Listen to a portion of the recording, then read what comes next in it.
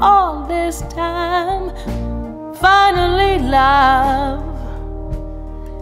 It took so long, it's just a crime. But now I'm not complaining, my life's complete. Finally, love is here for me.